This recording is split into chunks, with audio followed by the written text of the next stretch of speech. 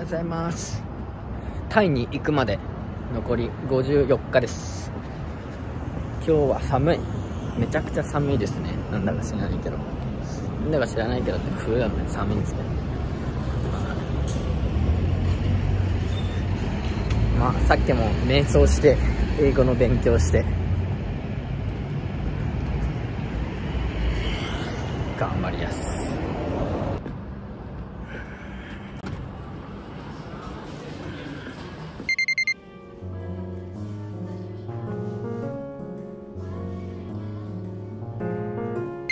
朝活が終わって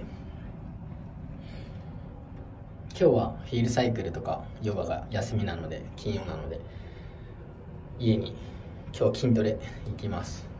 朝活終わって限りある時間っていうの本を読んでですね残り人生80歳まで生きるとしたら4000週しかないんですよ。なので自分が最重要っていうものを決めます。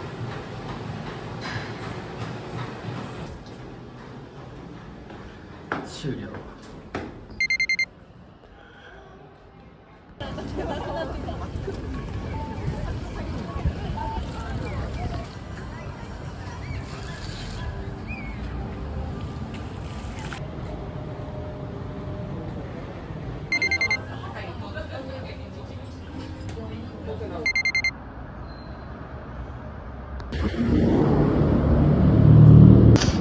おはようございます。今日も朝から瞑想でちょっと朝ですね。昨日は英文法のやつら勉強したんですけど朝からですね。いやなんか違うなと思ったんで単語を覚えないとやべえなと思ったんで今日は朝単語のまあ聞いたりとかあとはえっ、とアプリでやったりとかしてきます。やりました。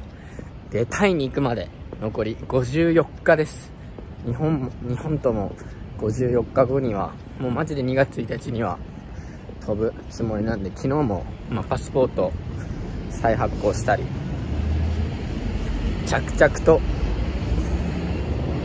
日本から飛び立つ準備をしております。こうタイルを立つこと。すごく不安ですけどまあその反面不安の部分もあるんですけどこうワクワクしてる自分。もう180度変わるんで考えあとは環境文化すべて変わるんで自分がどうなってくるのか自分の来年だったりとか自分自身がすごく楽しみ。ではこれからまた読書だったりとかいろいろしていくんでまた。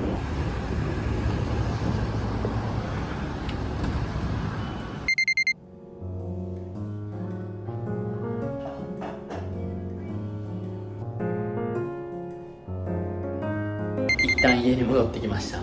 理由としてはヨガが行けなくてヒールサイクルに変更するんですけどそれで来ただけです。はい。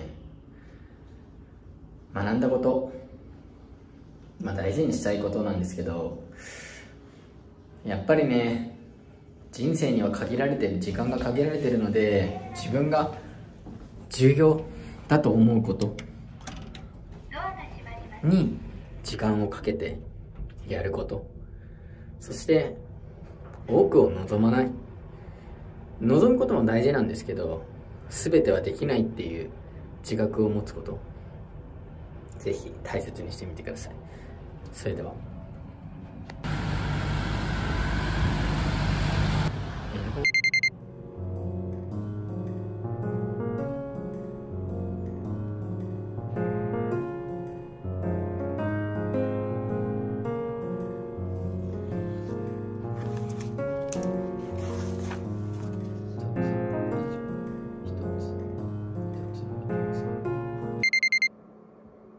Hi, how are you? Yes. Uh, my, um, my name is uh, Takahiro. Nice to meet you too.